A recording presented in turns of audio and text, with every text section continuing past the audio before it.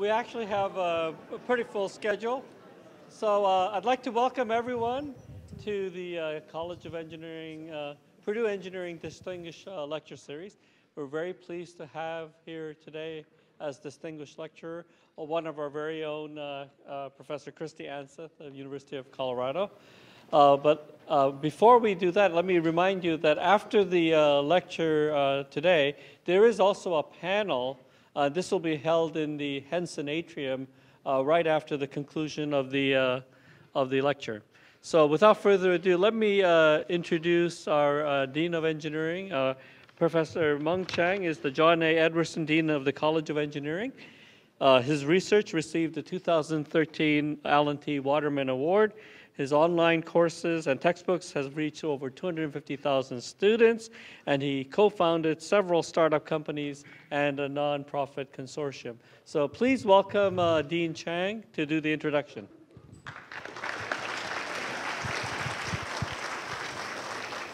Thank you, Sang, and good afternoon, everyone. Uh, such a pleasure to be here at the first of spring semester Purdue Engineering Distinguished Lecture Series. We launched this about a year ago and bring in some of the very brightest minds in engineering across the country and the world uh, to Purdue Engineering as part of our aspiration to achieve the pinnacle of excellence at scale. And today's distinguished lecture, welcoming her back to the Boilermaker land and also uh, personification of what pinnacle of excellence means. And Professor Kristi Anseth is the Tisone Distinguished Professor of Chemical and Biological Engineering at University of Colorado Boulder. And she is a graduate from this very school, the Davidson School of Chemical Engineering, uh, and her accomplishments uh, will take about two hours to describe at the very least. Uh, we're here to listen to her, so I will abbreviate that by highlighting that Professor Anseth is one of the very few engineers in the nation who is a member of all three national academies National Academy of Engineering, National Academy of Medicine, I guess that time it's called the Institute of Medicine, and the National Academy of Sciences. All three at the same time, and actually at uh, uh, uh, younger age than I would say some of the other uh, uh, handful of individuals who are engineers elected to all three academies. Uh, that perhaps is the shortest description length, the summary that I can find to describe the fantastic achievement by one of our uh, best and brightest alum. And also, she works at the interface between engineering and medicine. And as we explore the future for the whole College of Engineering, including the great Davidson School of Chemical Engineering, that intersection is immensely interesting. So I'm looking forward, Kristi, to your distinguished lecture uh, talking about the soft material for hard biological problems. Thank you so much and welcome back. Thank you. Thank you very much.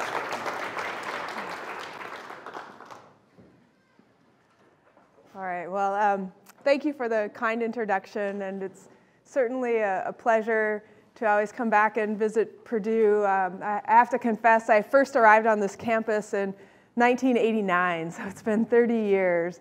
Um, but I've had many occasions to, to come back, and it's always a, a pleasure to see all of the uh, exciting advancements, all the new things going on in the School of Chemical Engineering and beyond. And um, what I wanted to tell you a little bit about today is how uh, chemical engineers, bioengineers, material scientists engineers are uh, needed to converge together and come together and be able to solve problems in biology and medicine that can be really impactful to society. And uh, what, what I hope to convince you today is give you a little bit of a snippet of some of the, the ways that we've been interested in this area. Um, And so the first is um, to maybe provide a little bit of context. Um, so we're very interested in how we can design material microenvironments here, represented by the, the, the yellow strands or scaffolding, that can interface with living cells. So cells in our body reside in a tissue microenvironment or a material microenvironment. And we're interested in culturing these cells, placing them in these three-dimensional environments. And in an application standpoint, we're interested in coaxing these tissues to reform tissues that could, in this case, repair or regenerate tissues in our body. And this happens to be articular cartilage um, that's on all the ends of our bones, and it allows us to move our joints without pain. Um, we started working on this problem almost 20 years ago, um, and it took about a decade to get these into human medicine, but cartilage is one of the tissues that, that we can regenerate and repair as an alternative to total joint replacements. Um, but as the field moves forward, and as we began to also think about and tackle even more complex problems or questions, um, sometimes we don't know all the information that's necessary. What signals do we need to give to the cells to recreate or, or, reform tissues that might comprise multiple cell types or need a blood supply or a nerve supply or have a particular metabolic function? Um, so in that instances, we sometimes look at and think about material microenvironments and designing ways to track cell function in real time so we can understand this outside in signal. And if we can understand that, then we can begin to coordinate complex events and begin to, to tackle even um, harder problems that, that exist. Um, and so in this spectrum, my own group has worked with many different types of material systems and one that I want to talk to you about today is one that I first learned about as an undergrad at Purdue doing research in a laboratory. And that's the picture here of these uh, macroscopic picture of a hydrogel. So a hydrogel, if you could see the molecular level features, you would see long macromolecular chains that would normally dissolve in water but because of interactions between those chains, it renders them insoluble. And instead, they imbibe large amounts of water. And when they do that, that makes them very interesting systems for placing living cells in. It recapitulates many of the soft tissue uh, microenvironments in our body. Um, when you put cells in these environments, they can secrete, and the signals that they secrete to talk to one another can rapidly diffuse through this environment. Um, so we use a lot of mass transfer principles and under understand that, as well as some of the mechanical cues that cells get in the three-dimensional structure cues they get from this environment are very reminiscent of what biological cues would be like within our tissues. So this is just a picture where we've uh, given the cells a fluorescent label that they uptake and then one can also visualize these and, and, use lots of advanced imaging and quantitative image analysis to understand how cells respond to these microenvironments. And so now the engineering comes in because you're trying to coordinate a complex series of events from the seconds after you assemble this to what happens days and weeks and months later as the cells begin to remodel and recreate tissues, and also on different size scales, from a small receptor on a cell and how it binds and interacts with that material, all the way up to a size of a cell that might be microns uh, and cell-cell interactions and, and movement, and uh, eventually to, to a three-dimensional millimeter, centimeter structure that, that you're trying to recreate or repair. Now, there are lots of different chemistries that one can use to, to make these types of, of material and microenvironments.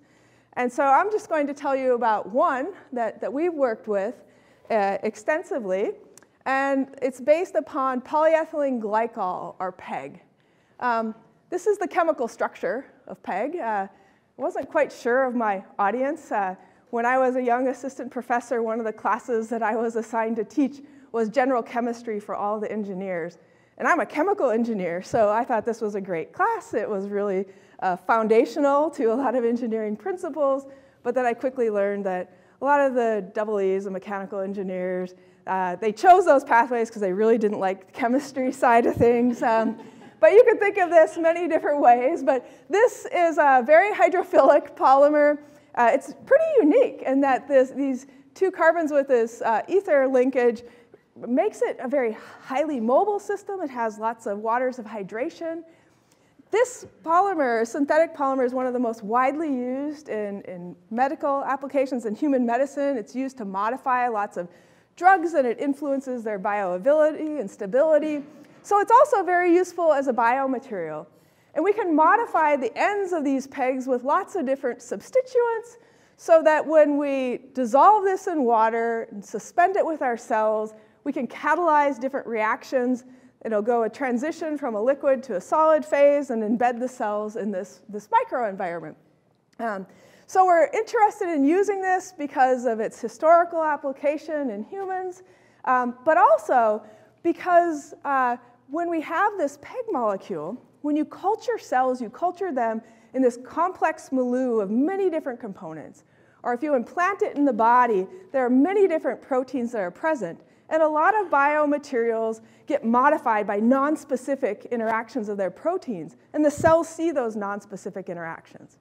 But when you use PEGs, it minimizes that.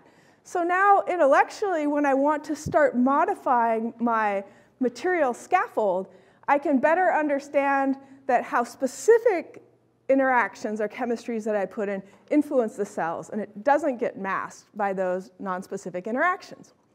So we started and we began a lot of our work with PEG. And when you began to put cells inside of these, so while the PEGs are really nice, they form these molecularly controlled structures uh, that influence a lot of properties, cells do not recognize this chemistry at, at, all. Uh, so it's not something they inherently interact with. So when you put cells in these environments, they typically take on a spherical morphology. They're not interacting with the material. These happen to be the cells found in your cartilage, and that is a natural morphology for cartilage cells. So these types of hydrogels can be very useful for the cartilage tissue engineering example. It also promotes a lot of cell-cell interactions. And so some cells in our body inherently want to interact with one another more so than with the matrix, our material environment. And so this happens to be islet cluster, which is the islets, which are a cluster of cells found in your pancreas that are responsible for making insulin, and they coordinate together uh, to respond to different glucose together in a very elegant feedback control mechanism.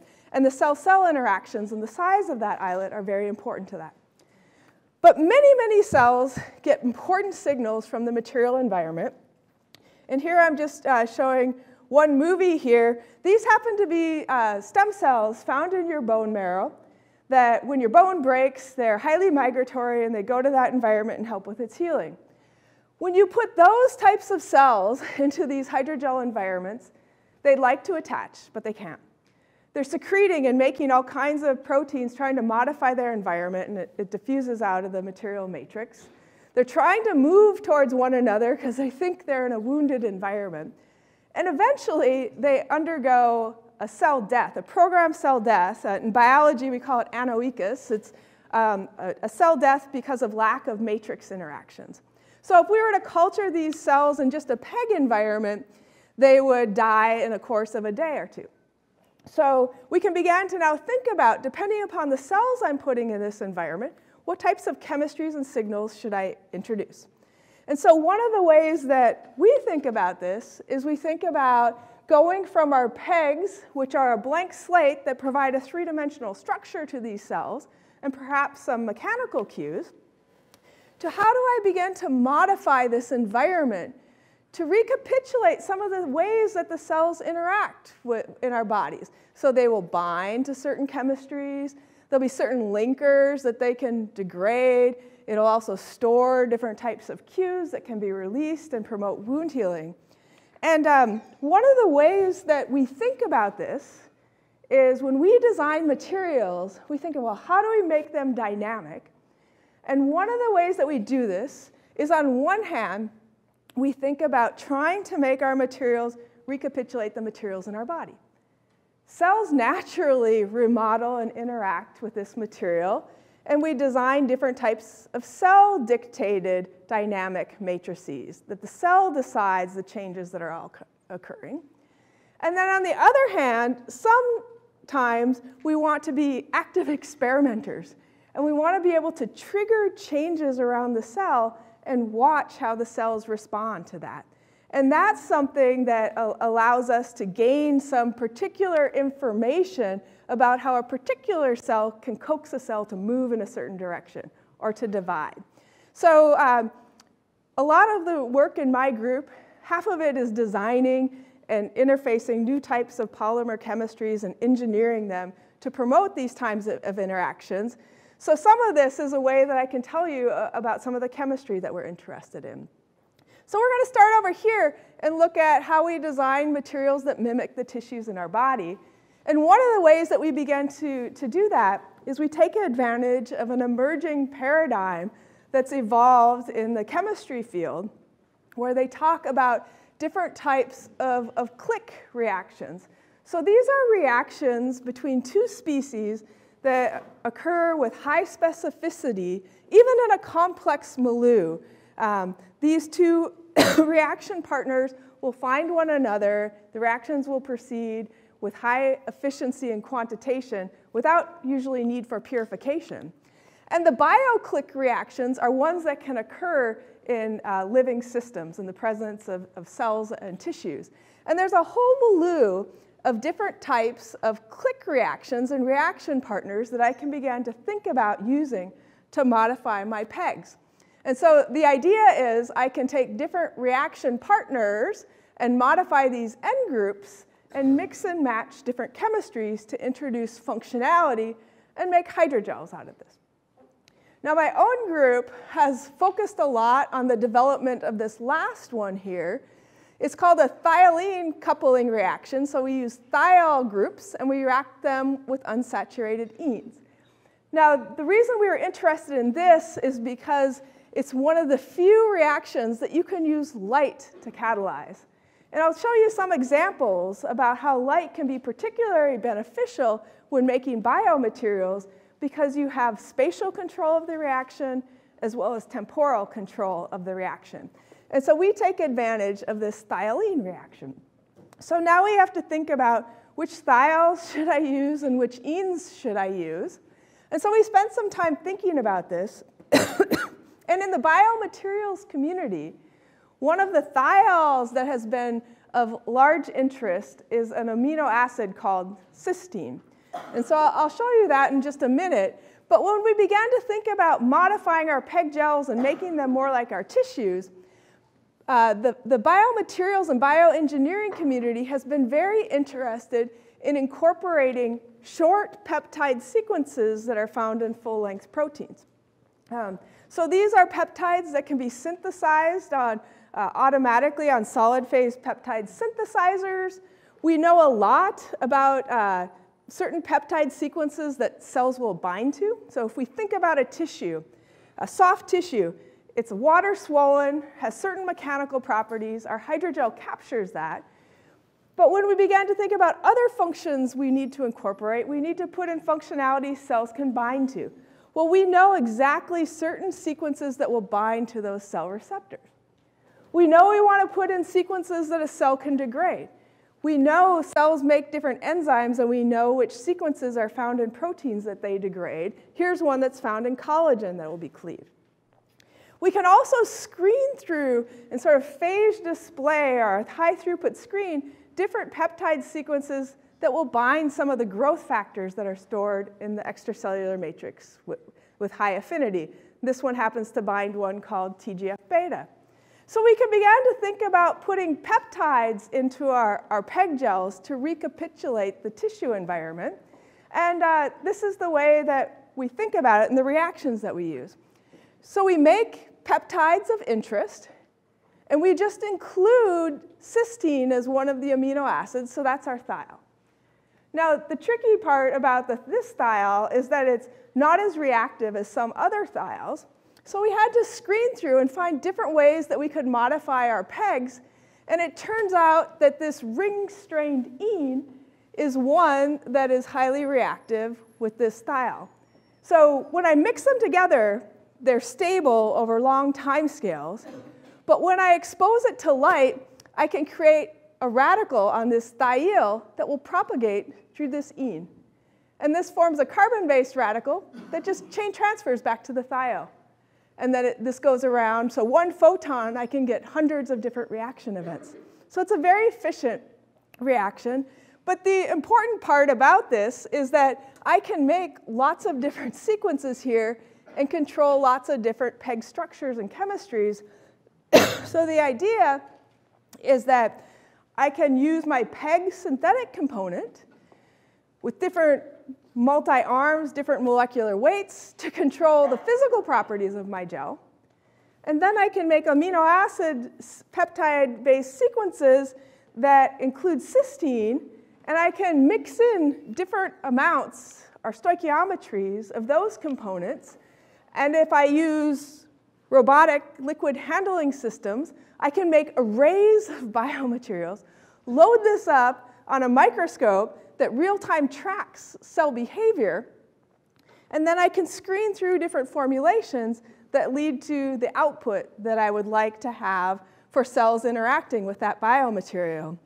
And so let me just show you one simple example.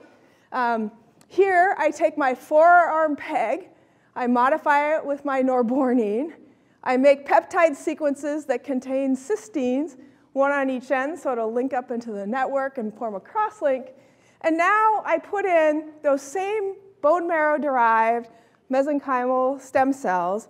And now this is low magnification, so the cells are the small black dots here.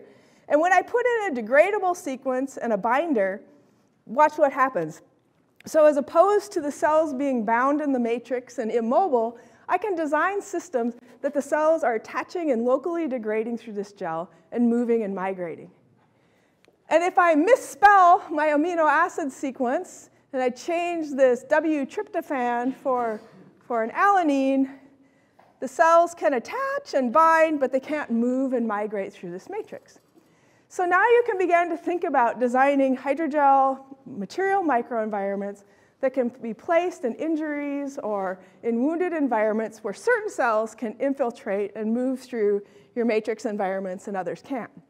Um, I won't go into a, a, lot of detail here, but this particular chemistry and its photochemical uh, activation allows spatial control of the chemistry as well as on-demand gelation. And so one of my uh, early PhD students uh, working on this, Ben Fairbanks, famously printed his image, took a photo, projected it through a microscope, and here's a, a picture of Ben written with fluorescent chemistry inside of the hydrogel. So it gives you an idea of the resolution that, that one can achieve.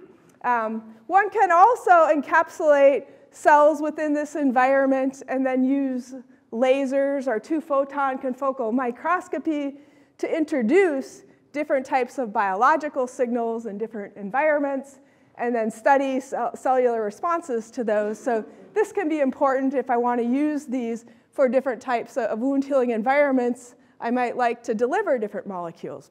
And so I'll give you just one example of that where we're going to compare this material system where cells highly migrate through compared to this one, which uh, the bone marrow cells can't infiltrate.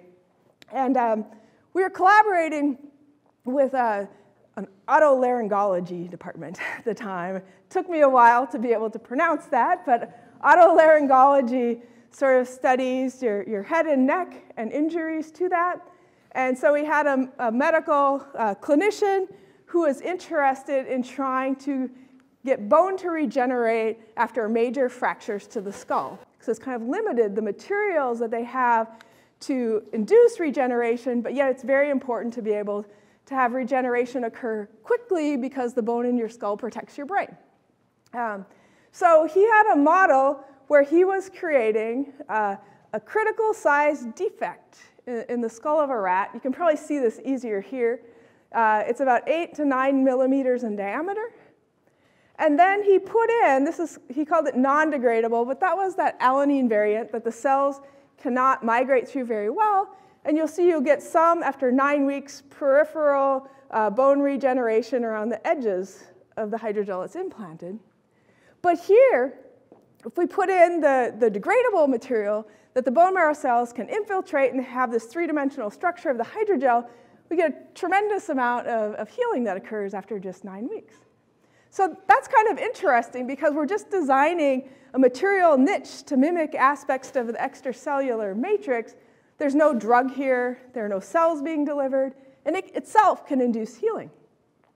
So the questions and some of the directions that this is going so this technology and these materials have been translated to a, a startup, Mosaic Biosciences, who's partnering uh, to deliver different types of biologics that can be useful for accelerating wound healing and, and bone healing.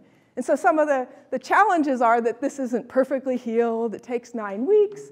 So you can begin to think about what types of signals could I embed inside of these hydrogels that could cause faster uh, bone regeneration and, and, and osteogenesis. Um, so that, that's one part of the story about how you can design materials that allow certain types of cells to interact and remodel, um, and I can engineer these with high specificity for particular cells of interest. Um, the next part I want to tell you a little bit about are how it can also be useful not just to mimic biology and watch and be a passive observer of how uh, tissues and wound healing and cells interact. But how can I actively intervene and use this and modify materials to, to better understand biological questions that, that will be important and direct cell function and fate?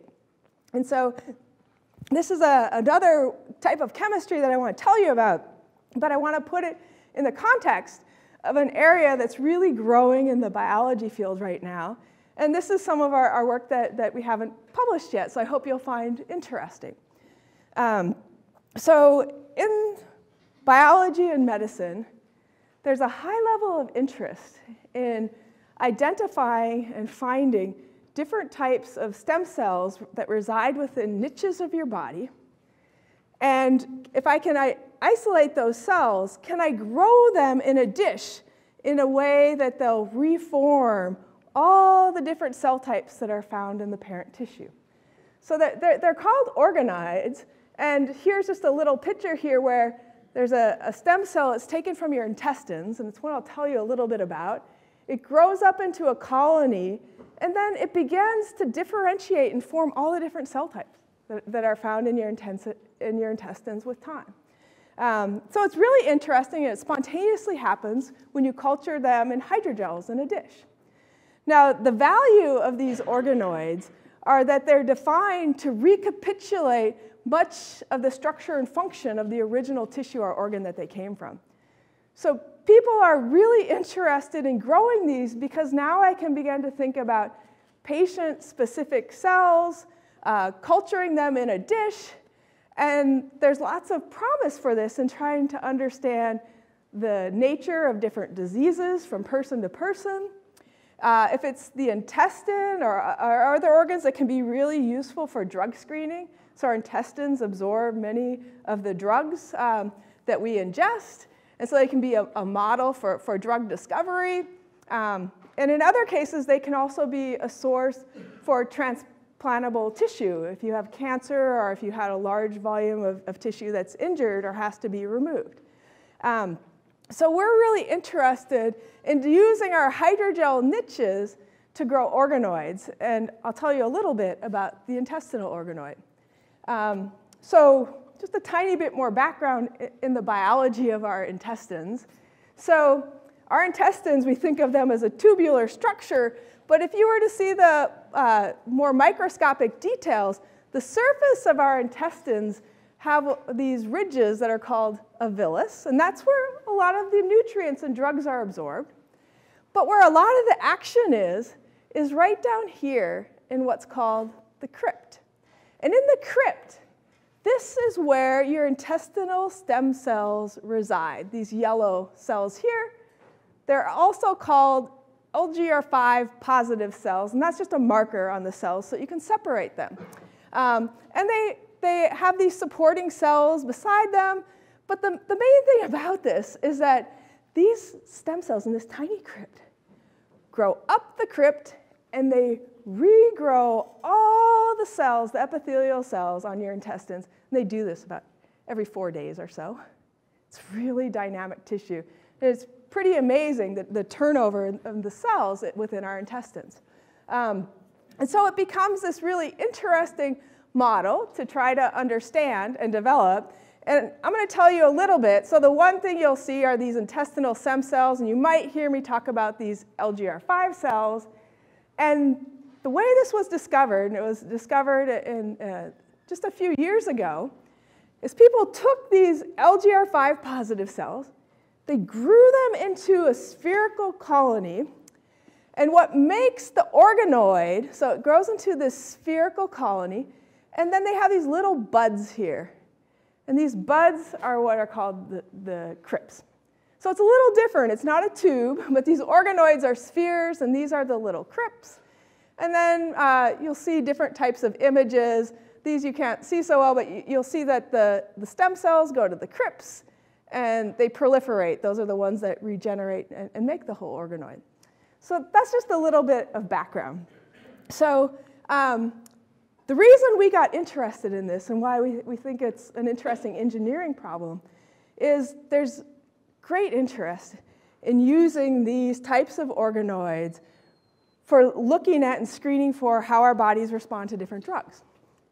But to do this and to grow all these organoids, right now, all the biologists grow this in a material that calls Matrigel. It's secreted and it's found in, uh, it's secreted by tumor cells. It's found in this basement membrane surrounding uh, these cells. And it has a highly variable composition.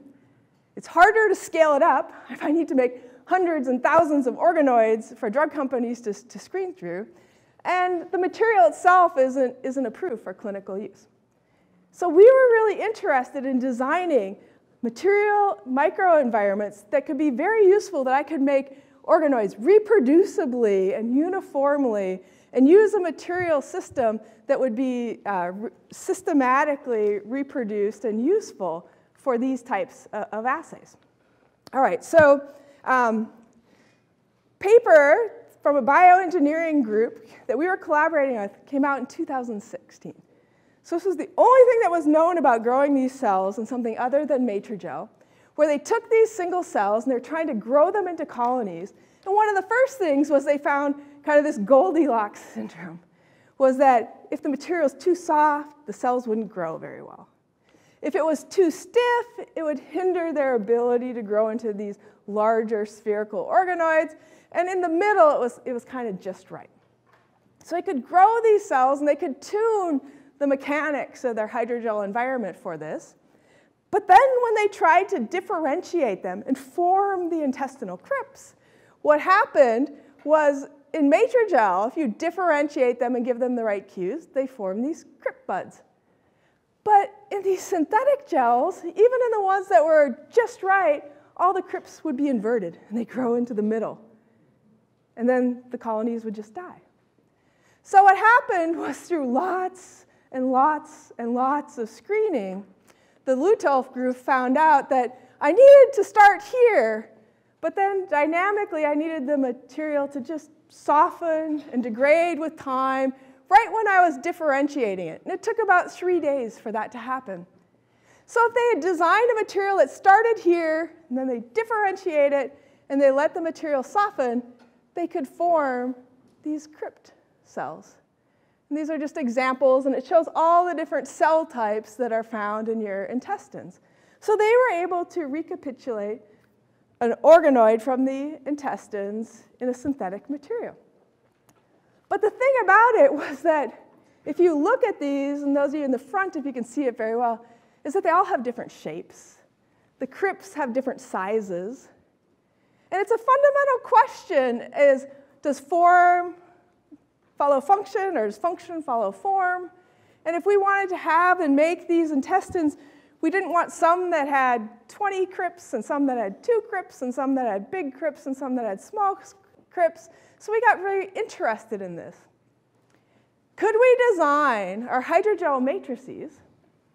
We'd already done some work, and we'd use some of our modeling from chemical engineering about kinetics and statistics where we could make materials that would just break down with time at a pre-engineered rate.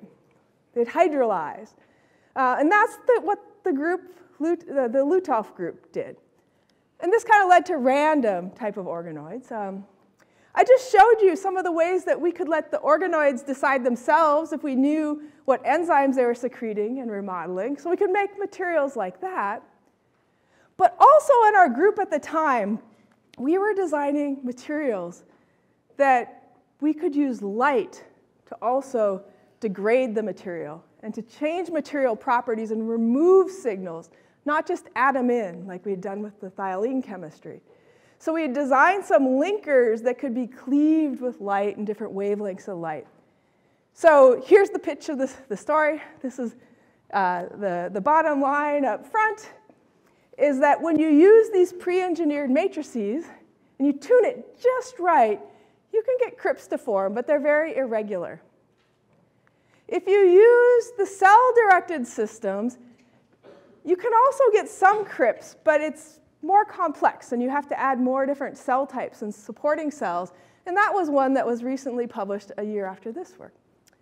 So what I'm going to show you is that with our photodegradable materials, we can design and grow these intestinal stem cell colonies in materials that are just right, and then we can come with lasers and pattern in and directly form the size, the shape, and the direction of the crypts. And we're very interested, again, in using this to make hundreds and thousands of, of and using these for, for drug screening applications. So that's what I'm going to show you. I'm going to tell you a little bit of the story. All right, so what we did here was we were already using our favorite PEG. And we were using some of our different click reactions. Here's an alkyne that we were using that would react with an azide to click together and form hydrogels. But the one thing we were doing a little differently was we were putting in this nitrobenzyl ether group that we can photodegrade. All right, so we could put in different types of peptides, but now rather than cysteine, we'd have to put in azide functionalities. We could mix all this together. Um, we follow the gel forming using a rheometer, and we can monitor the stiffness evolution of the gel with time. When we mix all these together, they react and they form a, a robust gel in, in, about 10 minutes if you follow this with time. Um, so we model some of those kinetics, and then here's a picture. We can follow the intestinal stem cells growing into colonies in real time inside of these gels. Then we recapitulate and we look at, so what happens? Do we also see this mechanosensitiveness when we grow these stem cells inside of our hydrogels? And so we embed them inside of these hydrogel matrices, and we can tune and control the stiffness of our gel over a couple of, factors. Um, we can watch the intestinal cells. Now, this is a low magnification. Here's all the colonies growing. Um, and then we can look at the efficiency of which they grow into form colonies. And indeed, we see when we have a certain stiffness gel, we can have more efficient colony formation. And I'm just going to show you some results here with, with this formulation. So here, here's the more interesting point. So now, once we have and grow these colonies inside of these gels, I can use different wavelengths of light and cleave that linker. So as I learned in my reaction engineering class, we could model and understand by how this linker absorbed light, how it would cleave, and with a laser, we can control the scanning speed, we can control the power, and we can monitor the cleavage of this reaction just by following the absorbance of that molecule and whether it's cleaved or not. And so we look at that analysis and we can get at the kinetics of the cleavage. And what's most important here is it sort of follows a classic photochemical reaction, a first order reaction.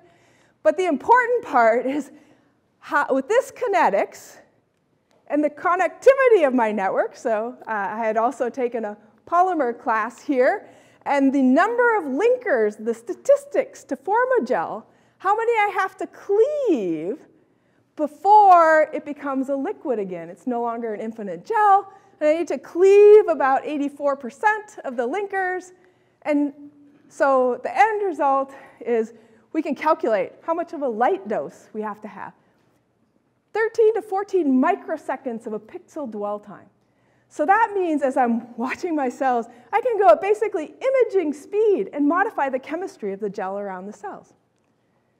So here's the image.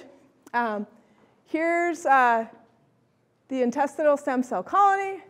I come with a 405 nanometer laser, and I'm just scanning in these two directions, changing the chemistry around, and then watch. And then the cells begin to go down into these degraded regions. And after 48 hours, they've almost completely filled the, filled the region. And I can do this to a whole bunch of the organoids because it's microseconds to do this. And almost all of them grow into the regions that I've modded, so the fraction that form these crypts. So it's highly efficient and scalable.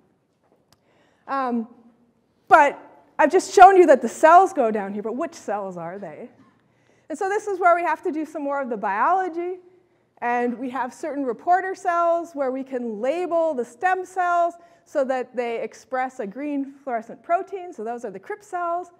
When we do this, we can show it's the crypt cells that are going down. The, the, stem cells are going down into, into these crypts. Um, we can magnify them. And it's also interesting, one of the things that we recapitulate is we get a crypt cell, a supporting cell, a crypt cell, supporting cell, and that's exactly what's in the tissue. Um, and we can show that they're also proliferating. So now I can begin to make hundreds and thousands of these organoids. Um, we can uh, visualize them in, in, three dimensions. You can see this elegant repeating architecture of the crypts. If we don't pattern them, if we don't change the gel, we don't see the crypts forming when we start to differentiate them.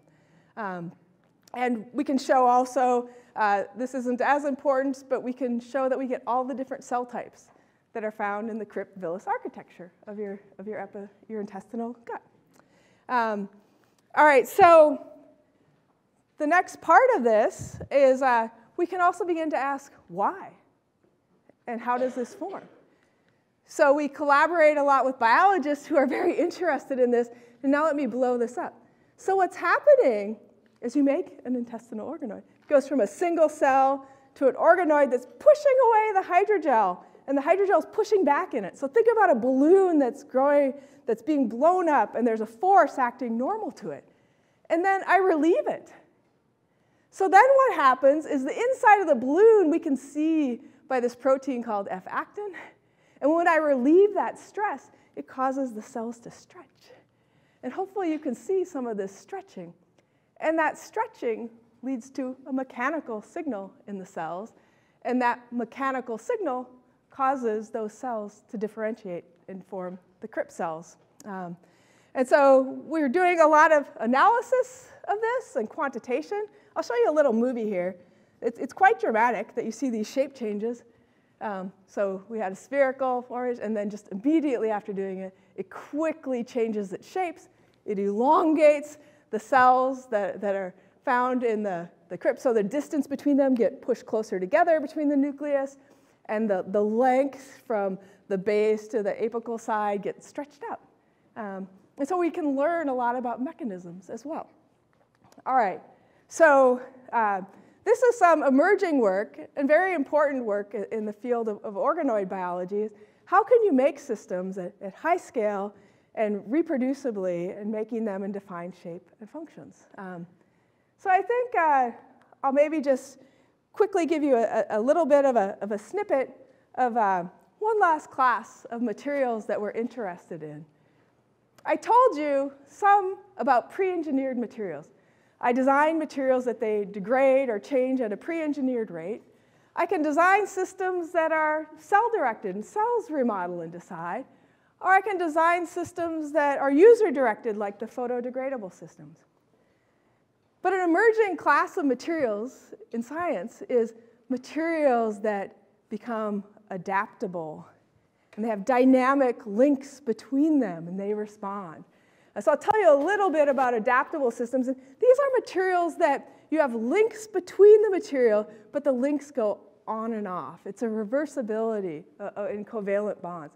And so when you have that, you can pre-engineer the reversibility that reverses at a certain rate, at a certain temperature or pH.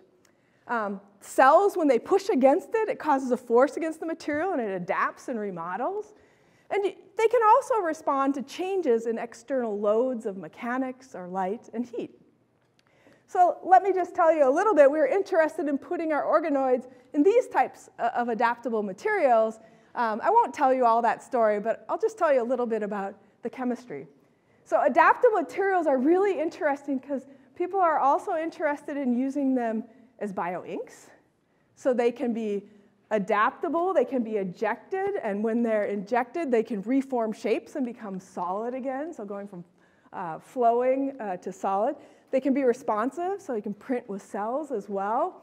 Um, and so they're useful for, for all types of applications with combining living systems with material systems to generate complex three-dimensional structures. So some of the chemistries that we're interested in, let's, let's just focus on this one here, where we use our favorite thiolene reaction, but we're going to design systems where the thiol reacts with the ene, and it creates a symmetric intermediate that will rearrange and regenerate the ene, and the thiol will be removed or kicked off. So in this way, you create a system that's very dynamic. Rather than a permanent link, I have links that can be rearranged in my system. Um, and so we, we, make gels with these types of materials using our same azide cyclooctyne material, and I can react and form gels, and they form in a few minutes, so a very fast reaction. And now I put this allyl sulfide linker in there. And when we do that, this is the reaction that I told you about. We can exchange in thiols into this ene, form an intermediate that I can swap out linkers in my material. So this is quite interesting because I can swap out single thiols and break crosslinks in my material. I can add in more thiols and cause stiffening in my material. And let me just show you uh, one example of why this is really useful. I told you about this nitrobenzyl ether group. It absorbs light, and one photon leads to one cleavage event. Here, in this reaction, I can have a stable gel, and when I expose it to light, it can relax and remodel, and one photon leads to hundreds of events. So here, I'm following the modulus of my material as a function of irradiation time, and uh, when I have no thiol exchanging in and out, I get a, small amount of modification, um, but as I add in more thiol, I can adapt and rearrange my molecule to change the modulus, and when I add in more and more, I can go beyond the critical point that a gel is formed, and it'll go from a solid that's softening to a liquid. Um, so let me maybe just show, a, I know I'm going a little fast here, but we analyzed all the kinetics, so a good looking at light intensity effects, initiator effects. But, but the whole story here is we can coordinate and look at the kinetics of the, the cleavage and remodeling with light intensity and we can compare that with what happens with our nitrobenzyl ether group and our allyl sulfide functionality group. So this is a very slow remodeling, and this takes fractions of seconds to happen. So we can begin to think about making organoids. So this is a centimeter thick gel. Normally, light wouldn't even penetrate all the way through this gel. And when I expose it to light with my remodelable, adaptable group, it completely arose and light can, can penetrate all the way down to the bottom in less than a minute. So I go from a gel, I expose it, and within a minute I've gone completely to a liquid system. So we're interested in using these types of systems to culture our organoids in, forming their shapes and crypts and structures, and then we can recover by just exposing and capturing those organoids and using them or, or transplanting them. All right. Um, I think maybe what I'll do is I'll skip through this last example and leave some time for questions. Uh, apologize for my time management there, but um, I guess what I wanted to tell you with and demonstrate with this talk was um, there's this great interface of chemistry, material design, that can be useful to create new types of systems that can interface with tissues in our bodies, with cells in a dish, and really be helpful to design systems that can enable injuries to heal in our body. So the hard biological problem in the first example was regenerating bone. The second hard example that I gave you was one trying to understand a stem cell and how it recapitulates and forms multiple cell types and spatial control of the information that's given that's important for directing all of these features. Um, I think there's a lot of advantages in using quantitative analysis to control and, and modify these environments. They can be designed in, in many different ways, um, but there's lots of opportunities, and there's a really big need in the field. Um, so there are many advances in what we can do with cells, and monitoring and tracking them in real time. Um, there's lots of advantages in chemistry and new design of materials and characterization of those materials, but there's a big gap at the interface. And we really need a lot of people that bridge those two technologies, and engineers play a critical role if we want to understand at the system level and how we can translate this to, to useful technology for both medicine and pharmaceutics and, and, for the basic biology community. Um, so with that, you know, I'd like to acknowledge that all of the organoid work was done by Tobin Brown and Ian Morozes, two recent PhD graduates, and we collaborated with Matthias Lutolf and one of his postdocs, Nikolce Gjorevski. Um, the earlier work on bone was the thiolene reaction was a collaboration with Chris Bowman, Ben Fairbanks, I showed you his picture, and Mark Tibbitt and April Kloxin did, did a lot of the, the work on um, developing the photodegradable chemistry, and Varsha Rao and Alex Caldwell are doing the work on translating that to some of the bone regeneration.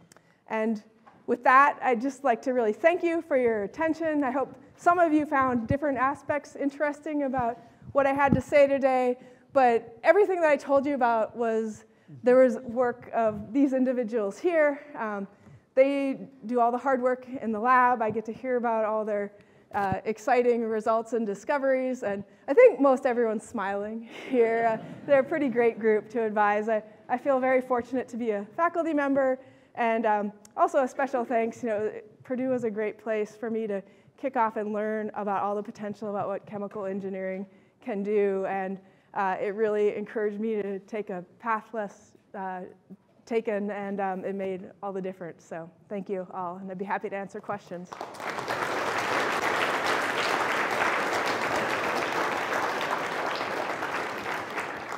Well, as is uh, customary, uh, we uh, encourage our students to ask the first set of questions.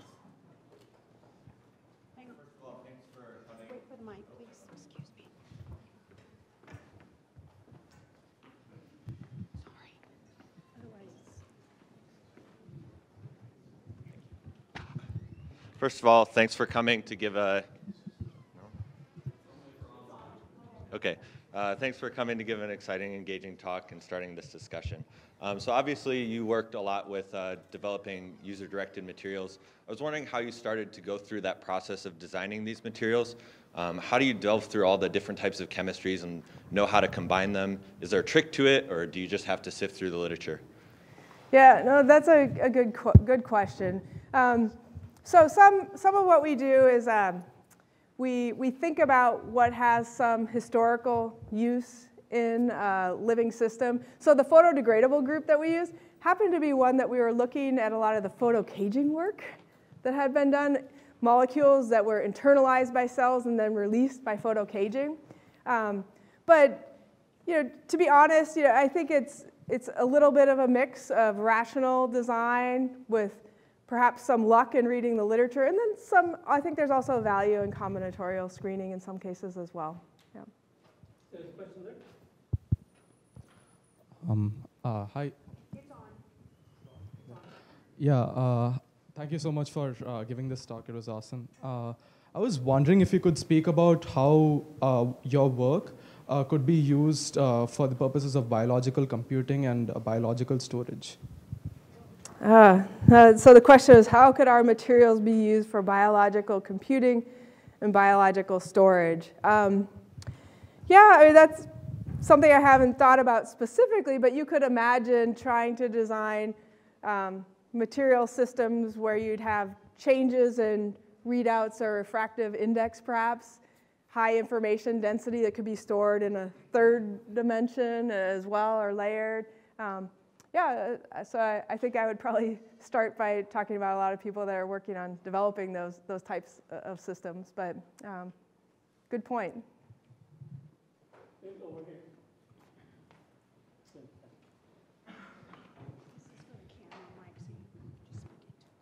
Thank you so much. Um, I have two questions. Um, the first one is related to you mentioned that um, this gel has to be um, worked or tested to um, can help with like tissue regeneration for uh, the injury treatments. So I was thinking about is this gel uh, capable to like mimic any uh, tissue injuries such like like uh, spinal cord injuries and brain injuries? Since you said like the stiffness of the gel could be tunable. Um, the second question is um, the two types of cells you use in this um, in the work you um, presented were the bone marrows and um, intestinal uh, stem cells. So I don't, um, I don't, I, don't know quite uh, sure about how those cells like um, they interact with the gel. But do you think some other type of cells, such as neurons, can be applied or cultured in this kind of gel? Because when the neurons are in, the, in their like uh, embryonic stage of development, um, it requires some like tracks or glial tracks to migrate. Do you think this type of gel can like reach that kind of purpose? Right. Um, uh, so the first, the first question was, um, do, do our hydrogels mimic some aspect of a, a, tissue and maybe some of the changes that happen with disease or injury? Um, and I didn't talk about some of that work today, but that is one of the things that we've done quite a bit of work on is culturing cells and making uh, tissues in these environments where you can dynamically stiffen or soften or injure the material and then watch the injury wound healing response. Um, and some of those studies can, are, are really nice models. I, I, will say for things like disease, so um, in cancer, tissues get stiffer, and that's why you feel cancer tumors. Or fibrosis, you have heart fibrosis or liver fibrosis, the tissues get stiffer. And we can stiffen on our systems and watch cellular responses, but the time course of many of those diseases or neurological diseases is years, right, or decades. And sometimes it's harder to, to scale or figure out what's the time scale in our in vitro experiments that would mimic a really long time scale of a process that occurs over decades. Like, can we accelerate and mimic that in two weeks in a dish or not?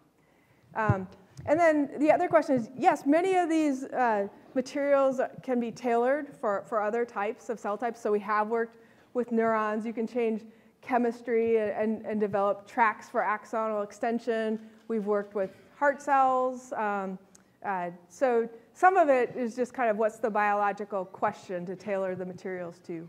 Yeah.